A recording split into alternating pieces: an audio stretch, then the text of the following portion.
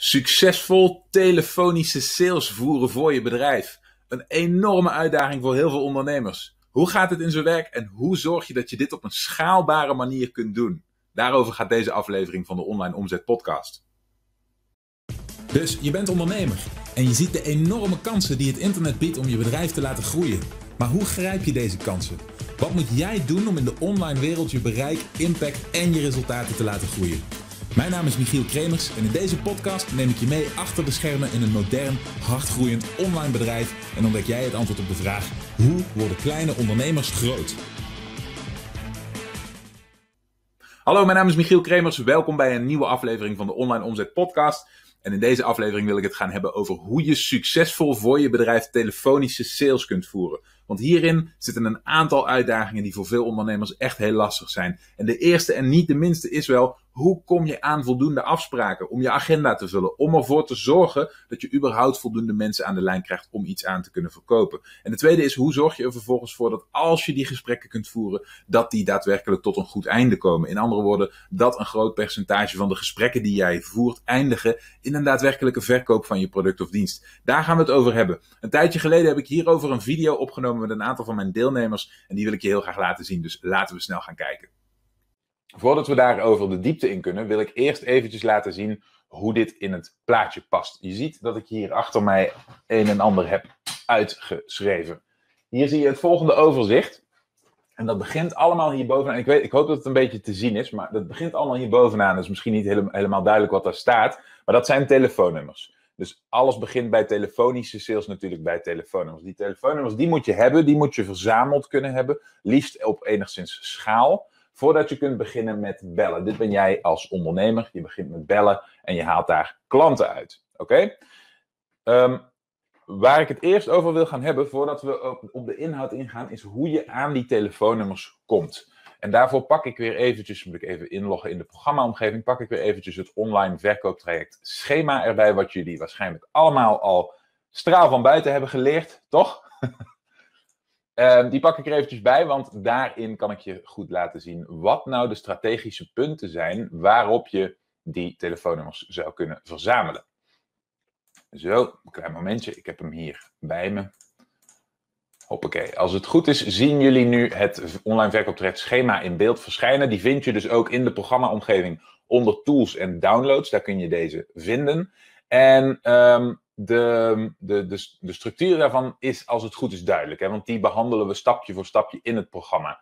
Maar laten we er nog even kort doorheen lopen. Op het moment dat jij een opt-in incentive hebt ontwikkeld die voor jouw doelgroep daadwerkelijk van waarde is, die dus, die dus bijvoorbeeld een bepaalde uitdaging die die mensen hebben voor ze kan oplossen, oké, dan kun je die aanbieden. En ik heb het altijd over het ruilen van die waarde tegen, zoals je hier ziet staan, ik zal hem nog wat groter maken, ruilen tegen niet e-mailadressen, maar contactgegevens. Oké, en dat is een belangrijk detail, want dat is precies waarom, we, waarom ik hier eventjes op terug wil komen. Je kunt een opt-in incentive ruilen tegen een e-mailadres en dat is het meest laagdrempelige. Daarmee verzamel je het snelst leads. Maar je kunt natuurlijk ook vragen om een telefoonnummer. Oké, je kunt heel gemakkelijk jouw opt-in incentive laten fungeren als lead generatie en dan jouw leads ook belbare leads maken. Door om een telefoonnummer te vragen en door dat in sommige gevallen zelfs verplicht te maken. Oké?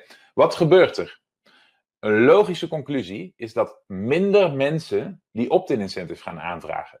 Minder mensen zijn geneigd om iets persoonlijks als een telefoonnummer te geven, iets wat ze zo bereikbaar maakt, dan een e-mailadres. Een e-mailadres is veel laagdrempeliger. Dus in de aanpak in het programma hebben we het meestal over een e-mailadres. Maar dat is natuurlijk absoluut geen plicht. Helemaal als je het idee hebt dat je als je mensen eenmaal te spreken krijgt, je eigenlijk altijd heel gemakkelijk verkoopt. Dat het je eigenlijk altijd heel goed afgaat. als jij iemand hebt die, bent die veel vertrouwen uitstraalt, als jij jouw missie of jouw waarde goed kunt, uh, kunt vertalen naar woorden aan de telefoon, als jij mensen uh, gemakkelijk kunt overhalen om het eens te proberen, dan is het, uh, het, het, verzamelen van telefoonnummers een, een heel erg goed idee.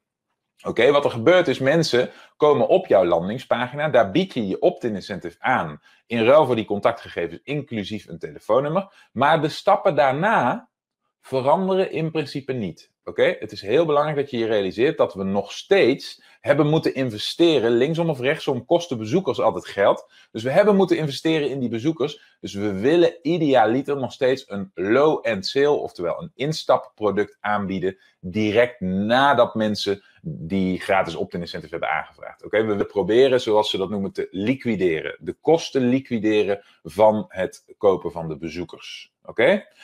Nadat dat is gebeurd, heb jij dus twee dingen voor elkaar gekregen. Ten eerste heb jij telefoonnummers op enige schaal kunnen verzamelen. En dan kom je, ja, ik, ik, zal zo direct dit weer wat groter maken, maar dan kom je hierboven. Hè, dan verzamel je die lijst met telefoonnummers die jij kunt gaan bellen. En ten tweede, oké, je zorgt ervoor dat met je low-end uh, met je low-end sale, met je instapproduct, je de kosten, liefst uh, volledig of grotendeels, voor het bereiken van die mensen via bijvoorbeeld advertenties, terug hebt verdiend. Oké? Dus dan heb je de eerste stapjes zo tot hier, die heb je voltooid. Um, je, je vraagt eigenlijk nooit niet om een e-mailadres. Dus mensen, als je om, om telefoonnummers het vragen, vraag je dat naast het e-mailadres. Je begint altijd bij het e-mailadres. Dus naast het telefoonnummer hebben mensen ook het e-mailadres achtergelaten. Dus ze komen hier ook in jouw e-mail systeem. Je kunt een relatie met ze gaan opbouwen, je kunt met ze gaan communiceren. Oké? En jij hebt nu de, uh, zeg maar even, de macht. Je hebt de touwtjes in handen. Want jij kunt nu kiezen of jij contact wil hebben met jouw doelgroep. En dat is waarom we dit allemaal doen. We willen ervoor zorgen dat wij kunnen kiezen om contact op te nemen met onze doelgroep. We willen dat niet af laten hangen van platformen van derden zoals Facebook of Google. daar hebben we op geadverteerd, juist om die data naar ons eigen bedrijf toe te halen. En dan kunnen wij gaan zeggen, nu neem ik contact op via ofwel een e-mail marketingcampagne, ofwel ik zet een call, een, een call leads campagne op. Oftewel, ik ga telefonische sales doen. Dat is in een notendop is dat even het stukje. Um, is dat even een stukje. Sorry, ik, eh, ik zie hier overigens Jessica iets uh, belangrijks zeggen, dus ik word even afgeleid. Die zegt besloten chat. Nu je het zegt. Ja, dat klopt. Ik ga hem even. Ik, je hebt helemaal gelijk. Hij staat op privé. Pardon. Nu kunnen jullie elkaars berichten ook weer zien. Bij deze. Um, dus op deze manier zorg je ervoor dat je, uh, je je klant zowel kunt gaan bereiken via e-mail als via de telefoon. En dan heb je deze situatie, deze beginsituatie gecreëerd. Oké? Dus dan kun je gaan bellen. Nu hebben we het alleen gehad over de meest laagdrempelige manier om aan telefoonnummers te komen. Namelijk het ruilen van je opt-in incentive. Goedemorgen Jessica. Het ruilen van je opt-in incentive tegen die telefoonnummers. En een e-mailadres dus. Maar wat je nog niet hebt gedaan, is selecteren. Oké, op dit moment is het enige wat je hebt gedaan, is zoveel mogelijk telefoonnummers verzamelen.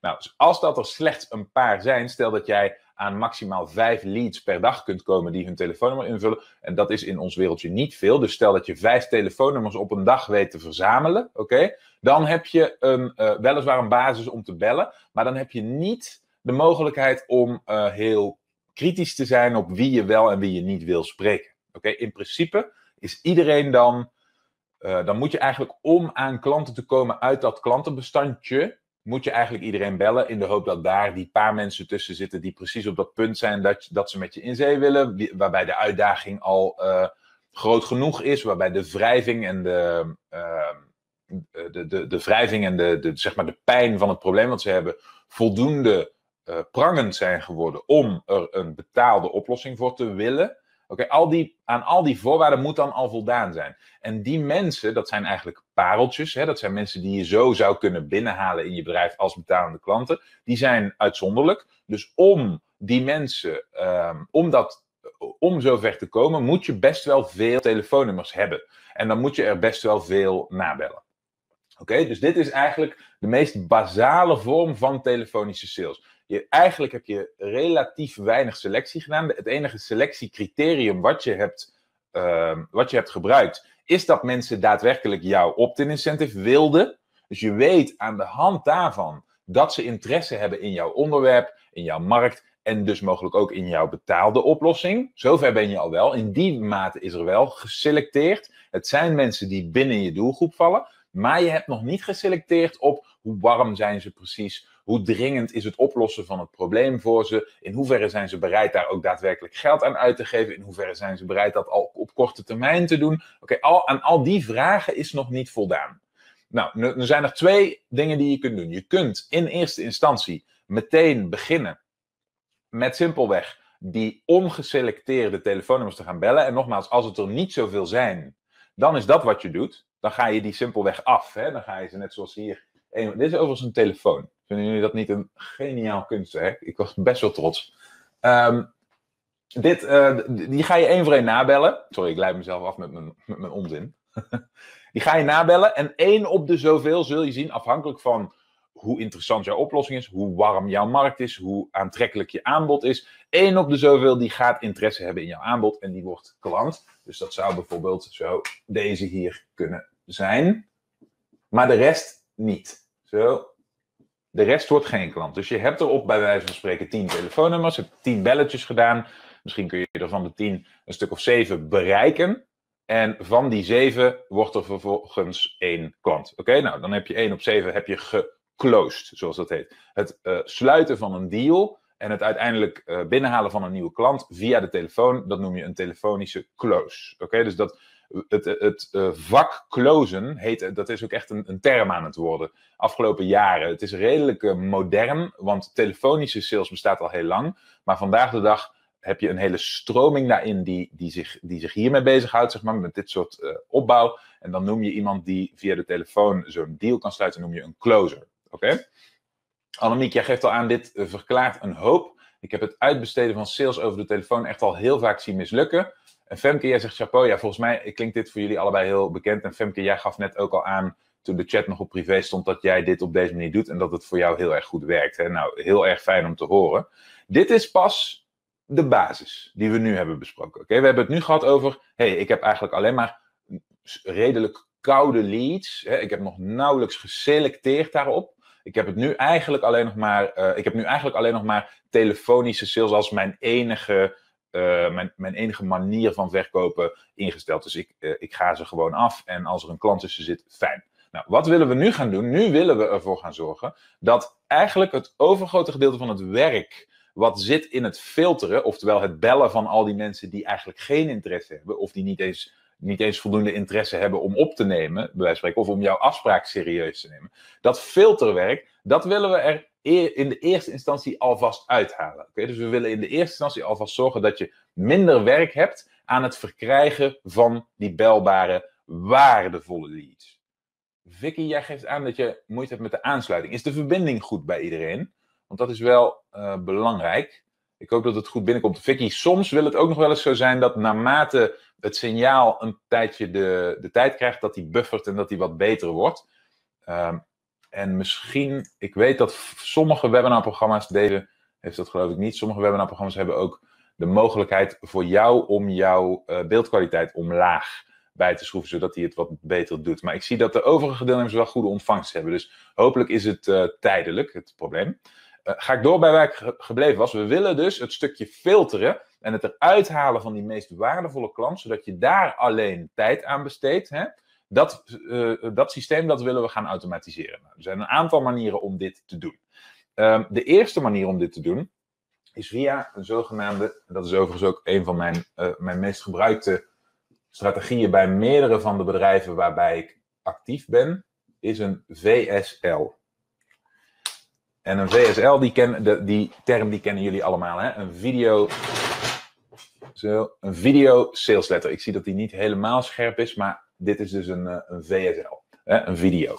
Um, een VSL, dat, dat, die term is jullie als het goed is niet meer vreemd, want die uh, behandelen we in het programma in volgens mij module 3 uit mijn hoofd. En dat is wat je laat zien nadat je mensen een opt-in incentive hebt beloofd. Dan komen ze op de bedankpagina en dan bied je ofwel die waarde die je hebt beloofd aan in videovorm. En dan, uh, dan kun je in die video ook de ruimte nemen om een pitch te doen. Dus om een en ander van je, eh, je, je betaalde dienst of product te promoten en uit te leggen aan ze. Ofwel je biedt je opt-in incentive aan via e-mail. En je geeft aan op de bedankpagina dat die e-mail onderweg is, maar dat je nog iets anders te melden hebt voor Dat je nog een andere boodschap hebt. In, uh, hoe je het ook bent verkeerd, linksom of rechtsom, je wil dat mensen die VSL, die video, te zien krijgen. En wat doe je nou in die VSL? Daar doe je eigenlijk hetzelfde wat je hier voorheen deed met al die telefoonnummers. Eerst ging je al die telefoonnummers bellen en ging je net zo lang door totdat daar een, uh, een geïnteresseerde tussen zat. En dan deed je je best om uit te leggen aan die persoon hoe je ze van waarde kon zijn, legde je uit wat je dienst inhield, deed je ze een aantrekkelijk aanbod daarvoor, zodat het ook voor die deelnemer heel interessant zou zijn om, om daar ja op te zeggen, om daarop in te gaan. Maar dat hele voorwerk, dat doe je nu in die VSL. Dus um, van die tien telefoonnummers waarvan je er zeven kon bereiken, waarvan er slechts één klant werd, betekent het dus dat je er zes gesproken hebt die uiteindelijk geen interesse hebben, die het uiteindelijk niet willen. Oké? Idealiter wil je er van die zes die het niet willen, die geen kans willen worden, wil je er zo min mogelijk spreken. Want dat kost je heel veel tijd en heel veel energie. En die tijd en energie wil je het liefste steken in mensen die juist wel interesse hebben. En die juist wel uh, geïnteresseerd zijn en warm zijn en, en jouw aanbod interessant vinden. En al eigenlijk al best wel goed weten dat ze aan de slag willen met je of dat ze je product graag willen hebben. Um, die wil je, daar wil je al je tijd en energie in steken. Daar wil je ook de tijd voor nemen. Nou, wat doe je dan? In die video sales letter ga je alvast uitleggen wat je product inhoudt. Ga je alvast uitleggen wat daarvan de waarde is, wat het voordeel is van het bezitten van jouw product of het afnemen van jouw dienst. Oké, pardon. Oké, dat ga je vast formuleren aan ze. Je gaat vast voorbeelden geven daarvan. Je gaat vast uitleggen wat, wat de waarde daarvan kan zijn. En uiteindelijk wat daar gebeurt in die video sales letter is, je verkoopt al. Hè? En verkopen, zoals jullie mij vaker hebben horen zeggen, is een werkwoord. Dus dat is een, een, een proactieve video waarin je je best doet om jouw dienst of jouw product in een positief licht te zetten, uit te leggen waarom het zo waardevol is, uit te leggen wat de voordelen daarvan zijn, mensen enthousiast te maken. En heel belangrijk, als dan, hè, je, je ziet dan automatisch, we hadden het over die zes mensen die, dan, uh, die, die je eerst had gebeld en die geen interesse hadden. Als mensen beginnen met het kijken van die video, dan zijn al die alle zes die mensen zijn nog aanwezig. Of eigenlijk alle, alle tien die je hebt bereikt, hè, de tien telefoons. Die zijn allemaal nog aanwezig. Die beginnen die video te kijken. En dan zie je vrij snel, je gaat het hebben over je product. Je gaat het hebben over, uh, over wat het doet, over waar het voor bedoeld is, over uh, hoe het in zijn werk gaat. En je ziet naarmate jij daarover praat, naarmate er duidelijk wordt dat jij iets verkoopt, hè, dus dit is de tijd van de video dat die afspeelt, hè, dat is deze video, zo. De tijd dat die afspeelt, zie je dat steeds minder van die mensen blijven kijken. Steeds, minder, eh, steeds meer mensen haken af en hebben uiteindelijk geen, uh, geen interesse meer. Mensen die nog niet zover zijn. Mensen die, zoals we dat noemen, nog niet koopklaar zijn. Oké, die zijn nog niet klaar om te investeren in jou, niet in je product of niet in je dienst. Maar een aantal wel. Een aantal blijven aanwezig. Oké, en op een gegeven moment ga je het dan hebben over je aanbod. Je gaat uitleggen van hé, hey, ik heb een dienst of een product en ik verkoop die. En dat kost een bepaald geldbedrag. En om dat te verkrijgen moet je dus investeren. Oké, ook dat doe je al in die video. En dan vallen er nog een paar af, want die vinden het super interessant, maar die zijn gewoon nog niet zo ver. Die willen nog niet investeren. Die, die, die, die zijn gewoon nog niet uh, ver genoeg in dat proces. Oké, dus die haken af. Uiteindelijk blijft dan aan het einde van die video blijft alleen degene over die al die dingen gehoord heeft, al die dingen gezien heeft, al die dingen overwogen heeft en nog steeds bij zichzelf denkt: ja, dit vind ik uh, nog steeds heel interessant. Ik wil dat wel graag doen. Van die tien mensen die je in de eerste instantie had verzameld, zijn er op dit moment misschien nog twee over. Oké?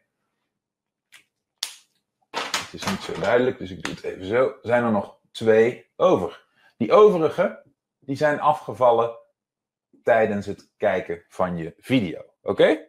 Zover duidelijk, hè? Dat betekent dat van die tien mensen, waar jij er zeven van hebt kunnen bereiken, waarvan er zes geen interesse hadden. Oftewel, je hebt zeven telefoongesprekken gevoerd en er had er één interesse die uiteindelijk klant is geworden. Van die zeven gesprekken hoef je er nu nog maar twee te voeren. En die ene persoon die daadwerkelijk klant wordt, die zit daartussen. Oké? Dus van tien telefoonnummers, zeven gesprekken, één klant, ben je gegaan naar tien telefoonnummers, twee gesprekken, één klant. Dus het grootste gedeelte van het werk, het grootste gedeelte van het verkoopwerk, van het uitleggen, van het selecteren en filteren van die interessante klant, heb je nu weggenomen door die video sales letter te gebruiken. Oké? Door ervoor te zorgen dat die daar staat. Nou, wat is nu het verschil met de traditionele video sales letter um, in vergelijking met de video sales letter zoals we hem in het programma tot nu toe hebben behandeld, is dat we voorheen in die video sales letter een, uh, een product verkochten. Dus de, we, gaven mensen per direct de mogelijkheid om op een button te klikken, om af te rekenen en om iets te verkrijgen. Oké? Het verschil is nu dat we, hè, stel dat je een meer high-end product verkoopt, stel dat de prijs wat hoger ligt, stel dat het wat lastiger uh, uit te leggen is, of stel dat het heel uh, persoonlijk is, dus dat het per klant weer heel anders. Stel dat je maatwerk levert of een uh, of stel dat je een bureau hebt wat per klant iets anders moet doen. Of hè, stel bijvoorbeeld, eh, om maar wat te noemen, hè, stel dat je websites verkoopt, hè, dat je websites uh, bouwt voor mensen.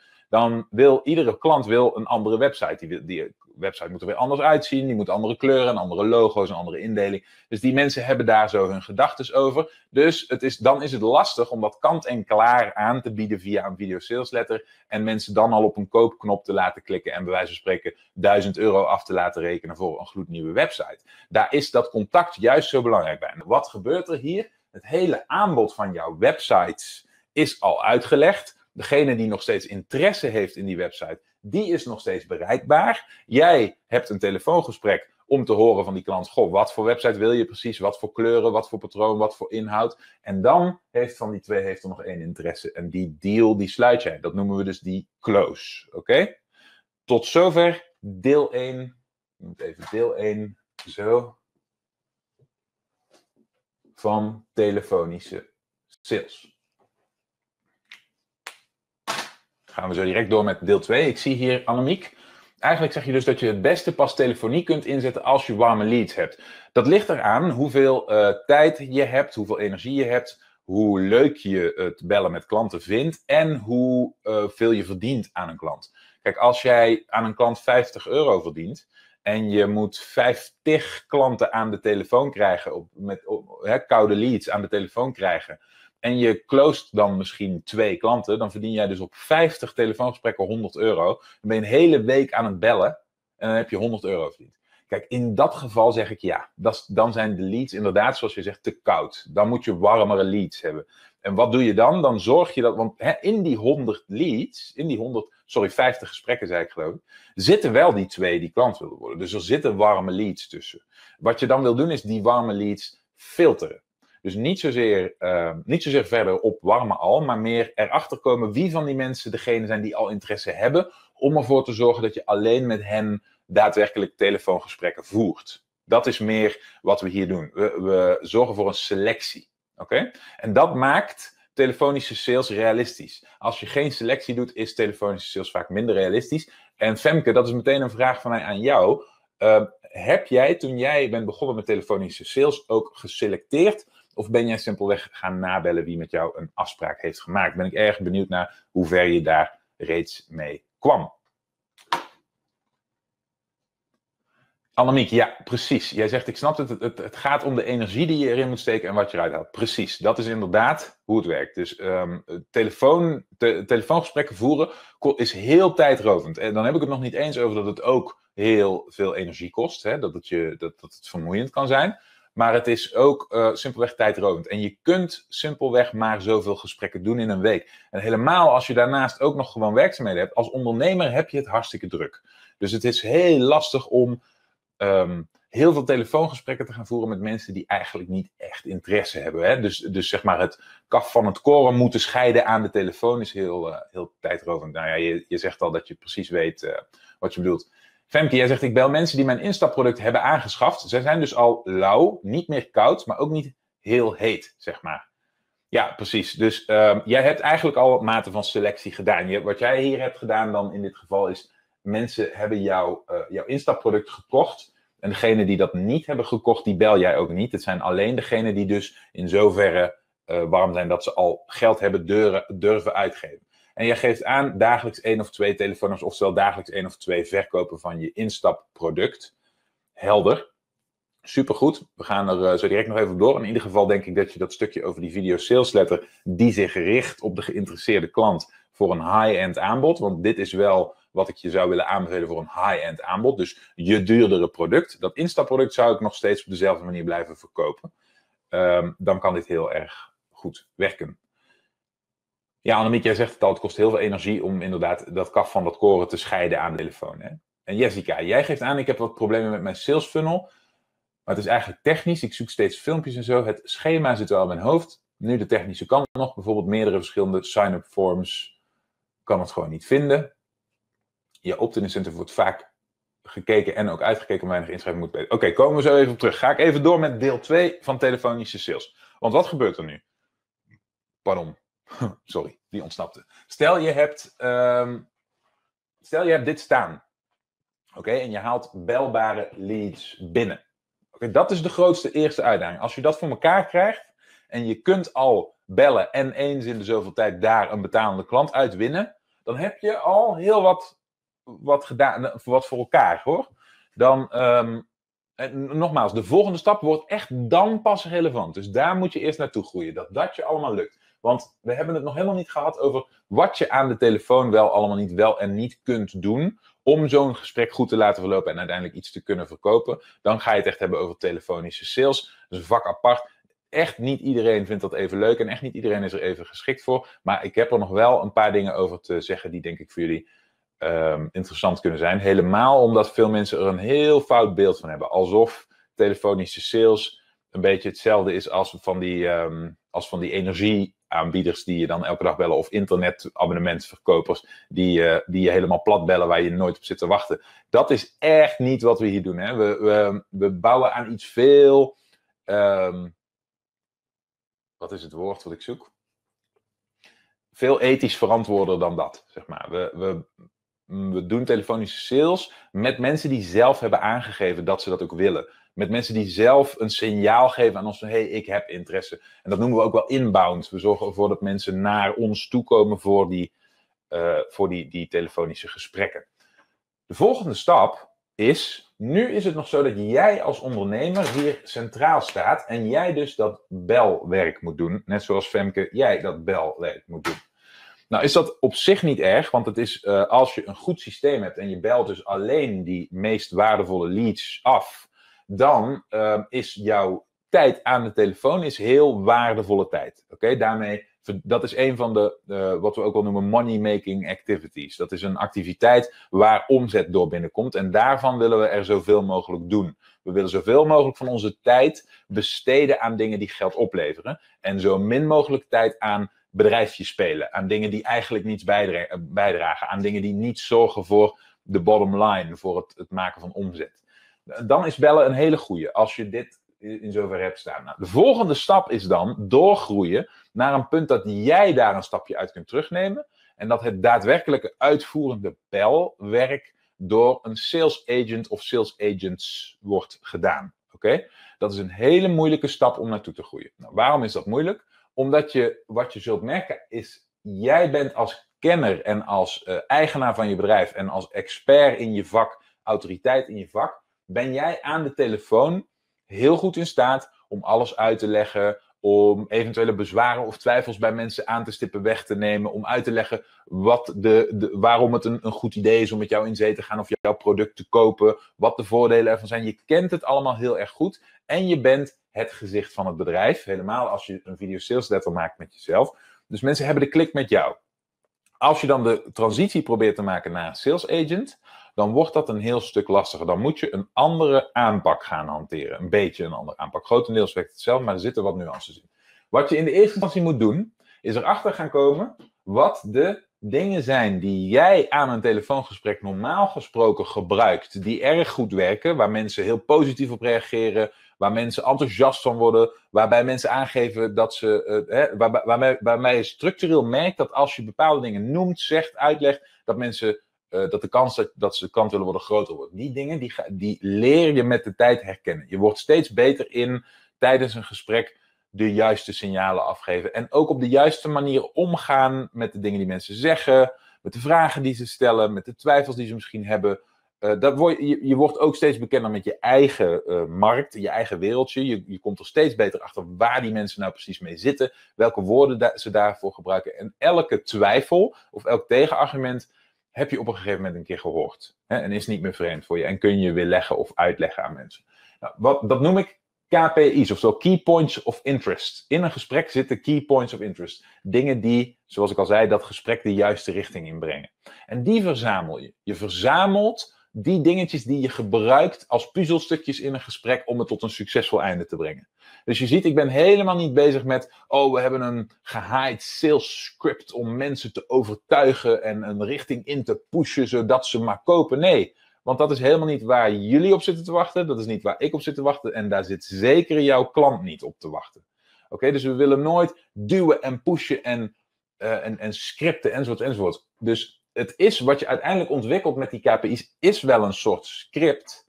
Maar we gebruiken het niet op de traditionele sales script manier. Wat we simpelweg doen is we leren van onze potentiële klant wat hij moet horen om graag klant te worden. Wat hij moet horen, wat hij wil weten, wat het een, een fijne, betrouwbare uh, stap maakt voor die persoon. Om een start te maken met jou, als je inderdaad in jouw geval Femke een dienst hebt, maar ook als je een fysiek product verkoopt. Hè, ze hebben daar vragen over. Ze kennen het product niet, ze hebben het niet eerder gebruikt. Stel je verkoopt een wasmachine, ze, ze hebben die wasmachine nog niet gehoord. Ze weten niet hoeveel lawaai die maakt. Ze hebben de was die daaruit komt nog niet geroken, hoe heerlijk fris die is. Ze hebben nog niet gezien dat die bijna in één keer kreukvrij is.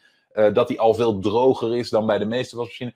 Dat weten ze allemaal nog niet. Dus al deze dingen, oké, die gaan wij verzamelen. Al die dingen die ze graag willen horen om erachter te komen dat ze klant willen worden, die gaan we verzamelen. Dat noemen we KPI's. En daar maak je een, een lijst van, oké? En je zorgt er daar met de tijd voor. Dat is waarom het zo goed is om zelf eh, te beginnen met een periode je eigen telefonische sales te doen. Je, je leert die KPI's heel goed kennen, oké? En uiteindelijk um, zorg je er daarmee voor dat je in bijna iedere situatie van een potentiële klant die aan de telefoon krijgt, dat jij herkent wat die persoon interessant vindt. Welke KPI's, waar, welke KPI's die persoon gevoelig voor is. Oké? Waarmee je die persoon gerust kunt stellen, kunt overtuigen en hem zover kunt brengen dat hij er, uh, ervoor wil gaan en het een, een kans wil geven. Oké, dat is het punt wat je wil bereiken aan de telefoon.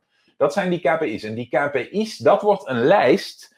En op basis van die lijst kun je op termijn met een, uh, een, een sales team gaan werken. Oké, dat sales team kent jouw product, jouw markt, jouw uh, dienst, jouw achtergrond, uh, de twijfels van jouw potentiële klanten kennen zij allemaal niet. Oké? Niet zo goed als jij, in ieder geval. Dus die hebben houvast nodig. Die moeten op zo kort mogelijke termijn aan de hand van het liefst zo min mogelijk gesprekken, want uh, in die gesprekken investeer jij om die te krijgen. Die zijn voor jou relatief duur. Dus uh, we willen niet dat mensen dat jouw salesteam heel veel gesprekken moet voeren, net zoveel gesprekken moet voeren als jij, om net zo goed te worden in jouw vak als jij, om dan een goed uh, salesgesprek te kunnen voeren. Nee, we willen ze handvaten geven om ervoor te zorgen dat ze out of the box meteen vanaf het begin in principe bijna net zo waardevol aan de telefoon kun, kunnen zijn als, als dat jij zelf bent. Oké, ik zeg expres bijna, want als eigenaar is het altijd makkelijker. Maar um, maar, maar goed, dat is waar je naartoe wil. Nou, daar heb je die KPI-lijst voor. En dan begin je met een sales agent. Oké? En die eerste sales agent is de belangrijkste. Want als je één sales agent hebt die het serieus neemt, oké, dan kan je die sales agent vervolgens als voorbeeld gaan gebruiken en daar kun je protocollen op gaan baseren. Dus je gaat op zoek naar een persoon die, uh, die, die niet bang is om aan de telefoon te zitten, die het leuk vindt om telefonische sales te doen, uh, die op zoek is naar wat extra uren of naar wat werk. En dan maak je een overeenkomst mee dat die voor jou de salesgesprekken gaat voeren. En als je daar proactief naar op zoek gaat, Femke, jij had het er al over, dan is de term die je, die je gebruikt om zo iemand te vinden, is een closer. Oké?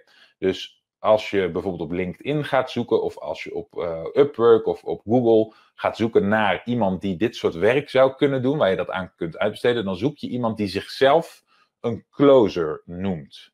En dit is een hele belangrijke. Daar heb ik het zelf lang over gedaan voordat ik deze, uh, deze mensen kon vinden, uh, omdat ik die term nog niet kende. Dus en dat is ook overigens een redelijk moderne term. Het is nog niet zo heel lang een, een fenomeen, dit, maar inmiddels wel.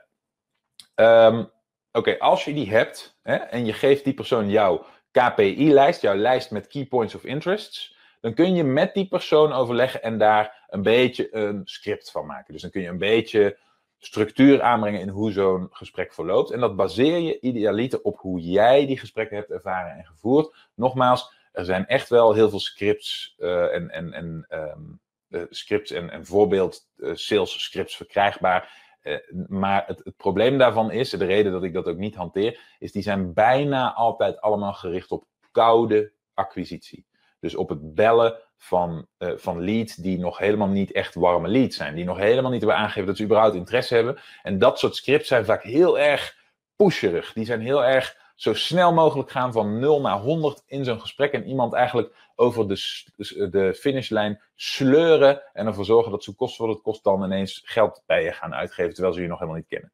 Nou, dat is natuurlijk een hele andere situatie. In onze situatie kennen ze je al wel. Ze hebben je al ontdekt, ze hebben je aanbod al gehoord, ze hebben al van alles gehoord over je product of over je dienst. Wij willen er alleen maar voor zorgen aan de telefoon dat we eventuele obstakels of twijfels die mensen nog hebben wegnemen, het, uh, het aanbod concreet maken en ervoor zorgen dat ze, uh, het, uh, dat ze het laatste zetje krijgen, bij wijze van spreken, om, om de aankoop te doen. Dat is wat wij willen aan de telefoon. Nou, vervolgens, als je die sales agent hebt en je hebt met die persoon wat structuur gemaakt rondom je KPI's en je hebt een aantal scenario's doorgesproken, dan laat je die persoon uh, voor het eerst een aantal gesprekken doen. En dan kun je op basis van die gevoerde gesprekken zelf jouw ervaring daaraan toevoegen en dat evalueren. Dan wil je zo iemand ongeveer 10 à 15 leads laten bellen. En binnen 10 à 15 leads moet zo iemand er minstens één of twee geclosed hebben. Als dat niet zo is, nogmaals, een closingsratio aan de telefoon moet hoog zijn. En 1 op 10 à 15, uh, sorry, 1 op 10 is ontzettend laag. Eigenlijk moet dit proces ervoor zorgen dat, net zoals wat ik hier schetste, van de twee leads die je daadwerkelijk spreekt, er één klant wordt. Dat is eigenlijk de situatie waar je, naartoe wil. Je wil zo goed filteren en zo goed um, het uh, kaf van het koren scheiden, dat degene die je aan de telefoon krijgt eigenlijk al voor 80% met een voet over de drempel is en eigenlijk gewoon wel aan de gang wil, maar gewoon nog een paar dingetjes moet horen van je. Dan wordt het binnenhalen van een klant voor andermans bedrijf, dus als sales agent zijn, wordt ook realistisch. Het is veel minder moeilijk als een klant al zover is, als hij in principe het grootste gedeelte van het verhaal al heeft gehoord en heeft overwogen en heeft bedacht of dat hij dat wel of niet interessant gaat vinden. Ik maak even wat meer licht. Zo. Of hij dat wel of niet interessant gaat vinden, dat dat allemaal al uh, bedacht is door die persoon. Het is een beetje raar weer. Ik zit hier in een soort lichtstraal. En de rest is hartstikke donker. Dus daar ga ik even wat aan doen, want daar word ik, daar word ik ongelukkig van. Ik wil lekker veel licht. Dus misschien nog dat restantje Spanje in me. Zo.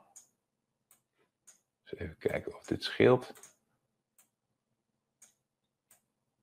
Zo, het is misschien niet helemaal gezond, zo wit. Maar het is wel, oh ja, dan krijg je natuurlijk weer dat dat, dat, dat whiteboard niet goed zichtbaar is. Het is altijd wat, hè. Ja, dat komt omdat ik tegenlicht heb en ik vind dat heel plezierig, want ik uh, kijk uh, gedurende dat ik werk, heb, zit ik achter een prachtig groot raam met een mooi groot uitzicht. En dat vind ik uh, heel plezierig werken. Want dat geeft me het idee dat ik niet zo opgesloten binnen zit. Dat geeft me niet zo'n kantoorgevoel, dat geeft me een, buitengevoel. En dat is iets wat ik verdedig, wat, waar ik waarde aan hecht. Kijk, daar zijn we. Ietsjes minder, minder bedompt. Oké, dus je hebt die, uh, die persoon dan zeg maar opgevoed in jouw stramien, in jouw systeem. En vervolgens heeft hij een aantal calls gedaan en kun je daar wat, uh, wat feedback op geven. Oké, dan heb je op een gegeven moment, uh, als, als je er een paar hebt gehad en je hebt diegene gevonden die daadwerkelijk mensen binnenhaalt in jouw bedrijf en die ervoor zorgt dat er daadwerkelijk geclosed wordt, dan heb je één casus. Dan heb je één persoon waarvan je weet, oké, dit is dus hoe mijn sales agent moet functioneren. Oké? op basis daarvan wil je eigenlijk continu op zoek blijven naar de volgende. Oké? Want wat je zult gaan merken als je sales agents gaat aantrekken, als je closers gaat inwerken, is dat goede salesmensen, goede telefonische zijn heel erg zeldzaam. Dus er zijn twee dingen die je moet onthouden. Ten eerste, het is een never-ending proces. Je bent altijd op zoek naar de volgende closer, want ze zijn heel zeldzaam. En helemaal de mensen die heel goed zijn en die, die een goede klik hebben met jouw bedrijf. Hè. Dat, dat, dat, kan iemand zijn die voor mijn bedrijf heel goed werkt en voor jouw bedrijf totaal niet. Um, dat, dat is echt wat, wat zoekwerk. Dus dat wil je eerst doen. En ten tweede moet je je altijd blijven realiseren dat een closer, dat, dat, dat is intensief werk en dat is een hele waardevolle skill. Dus die moet je fantastisch belonen. Oké? Je moet daar echt veel tegenover zetten.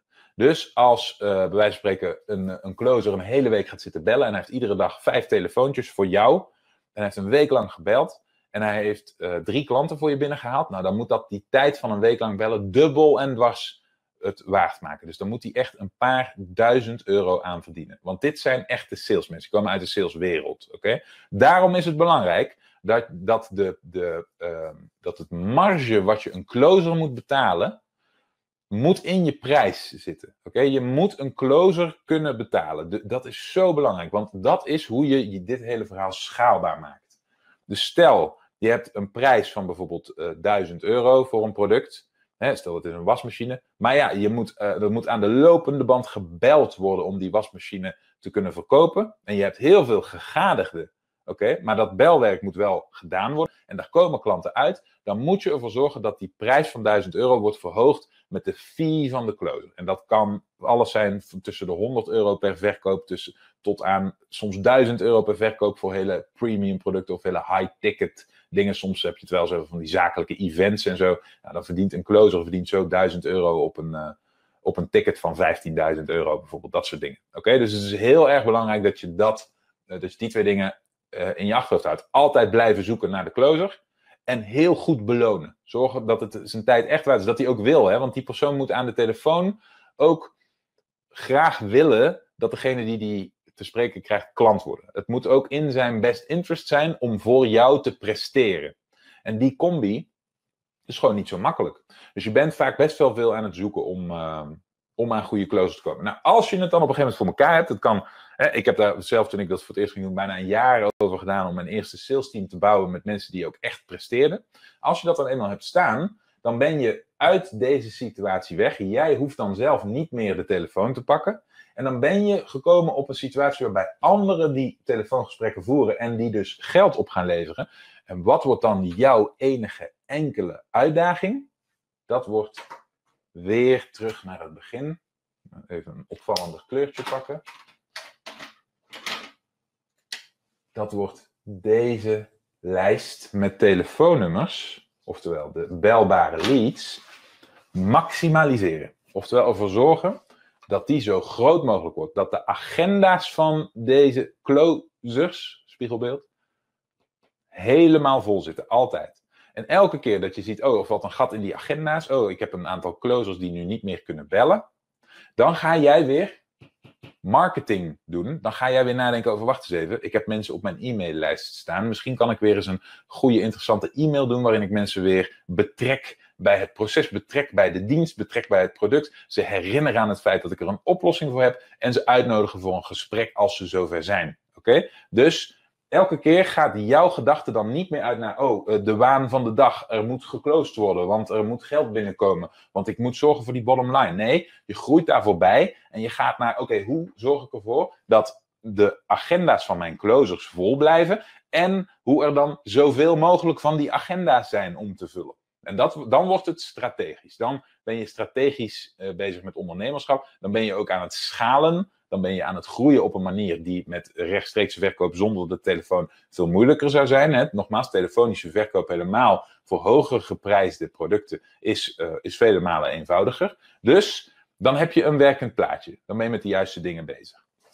Dit was het, uh, het verhaal waar ik graag mee wilde aftrappen vandaag. Want ik denk dat het voor een aantal van jullie, zo langzaamaan als ik het zo inschat, mm, naarmate jullie groeien in de basis van een verkooptraject, het steeds interessanter wordt om dit te weten. dat je dit als alternatief in je achterhoofd kunt gebruiken. Nou, nog even een laatste puntje met het verkooptraject schema erbij. Kijk, hier is het schema. Wat je nu ziet is, we hebben nu een versie van het, uh, van het schema van het verkooptraject, waarbij mensen uh, op een landingspagina jouw opt-in incentive verkrijgen in ruil voor dat telefoonnummer en die, eh, die, die contactgegevens, hè, dat e-mailadres. Dan gaan ze naar de low-end sale en nou krijg je dus een variant waarbij dat ook al een VSL zou kunnen zijn, die ze opwarmt en die vervolgens als doel heeft een gesprek met ze in te plannen. Of, en dat is een nog belangrijkere, en dat is hoe ik het zelf normaliter aanpak. Of je houdt hier je instapproduct van bijvoorbeeld een paar tientjes, zodat je de, de advertentiekosten kunt terugverdienen. Net zoals jij dat doet bijvoorbeeld, Femke.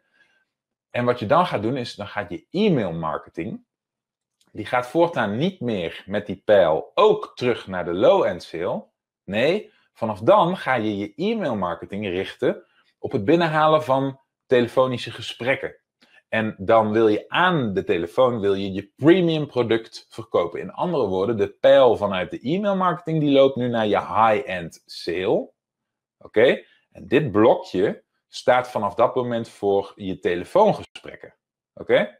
Dus nogmaals, dit is een alternatief wat we hier besproken hebben op wat hier staat. Dit is een alternatief op wat we doen in het verkooptraject uh, en in het programma. Maar het is nogmaals belangrijk om hem te kennen, dat alternatief, omdat het voor enkele van jullie heel erg goed kan werken, laagdrempelig en snel is. Uh, de reden dat we het in het programma niet verwerken op dit moment is omdat het programma gericht is op minimale menselijke tussenkomst, zo laagdrempelig en zo schaalbaar mogelijk werken. En zoals je ziet, het bouwen van zo'n team, als het je lukt, wordt het pas schaalbaar. Als het je niet lukt om succesvolle closers, en dat is echt een uitdaging te vinden, en zo'n team uit te bouwen, dan is dit concept niet schaalbaar. Want jouw eigen agenda, die zit binnen de kosten keren vol. En dan kun je niet doorgroeien. Oké, dan je hebt dan niet nog iemand die ook kan bellen. En dan loopt het vast. Dus in plaats daarvan wil je eerst zorgen dat je een schaalbaar systeem hebt. Daarom beginnen we daarmee en daarom gaat het programma daarover. En pas daarna kun je gaan zeggen: hé, hey, mijn meest premium, sorry, mijn meest premium oplossing, mijn meest waardevolle variant van mijn product, hetgene waar ik het meeste aan verdien, daar begin ik eens eventjes rustig mondjesmaat zelf uh, telefonische sales voor te doen. En daar begin ik deze ervaring mee om te doen, oh, sorry, om uiteindelijk een sales team op te bouwen. En, en, als dat eenmaal staat en je hebt eenmaal die goede closers die thuis zijn in jouw bedrijf, jouw product, jouw dienst, dan kun je langzaamaan die closers ook steeds meer betrekken in de rest van het verkooptraject. En dan kunnen zij ook daarin een rol gaan innemen. En dan hoeft het misschien niet meer af te hangen van, uh, van low-end sales en, uh, en dat soort dingen. Oké, zoals je ziet komt er aan het voeren van succesvolle telefonische verkoop komt best wat bij kijken. En een van de belangrijkste punten die mensen hierbij vaak over het hoofd zien, is dat het uiteindelijk veel meer draait om wat je doet voordat het gesprek plaatsvindt. Hoe je die persoon daadwerkelijk zover krijgt dat je een telefonische afspraak met hem hebt. En wat zijn pre-frame is voordat hij die afspraak met je ingaat. En pas daarna komt om de hoek kijken hoe jij je gedraagt aan de telefoon. Dat is eigenlijk een veel minder belangrijke rol. Als je het goed doet als marketer, dan heb je eigenlijk het grootste gedeelte van de verkoop al gerealiseerd. Voordat die persoon aan de telefoon komt. En geldt het telefoontje eigenlijk alleen nog maar als laatste zetje om iemand binnen te halen en de transactie waar te maken. Als je nu bij jezelf denkt: hey, dat zijn dingen waar ik moeite mee heb en dat is waar de bottleneck in mijn bedrijf zit. Dan is deelname aan mijn traject misschien iets voor jou. Maak in dat geval een afspraak met mij of een van mijn collega's via onlineomzet.com slash interesse. Dan zien we je heel graag verschijnen en hopelijk kunnen we wat voor je betekenen. Tot snel en tot in de volgende aflevering.